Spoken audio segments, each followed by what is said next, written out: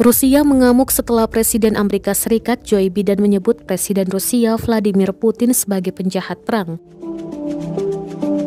Juru bicara Kremlin, Dmitry Peskov menyebut penghinaan Biden tersebut sebagai sesuatu yang tak bisa dimaafkan. Biden sebelumnya pada Rabu 16 Maret 2022 menyebut Putin sebagai penjahat perang untuk pertama kalinya setelah Rusia menyerang Ukraina selama hampir tiga pekan. Biden mengungkapkan saat hadir dalam pengesahan ulang undang-undang kekerasan terhadap perempuan di Gedung Putih. Saat ditanya apakah Putin merupakan penjahat perang, Biden sempat menepisnya. Tapi ketika kembali ia kemudian menegaskan bahwa Putin memang adalah penjahat perang. Pernyataan Biden tersebut pun membuat Rusia murka dan mengutuk pernyataan tersebut.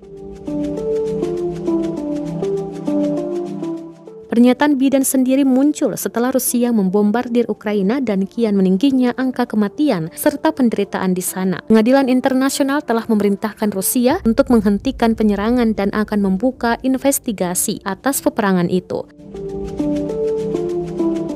Hak Asasi Manusia PBB mencatat 600 warga sipil tewas atas penyerangan tersebut, meski angka pastinya diperkirakan lebih tinggi.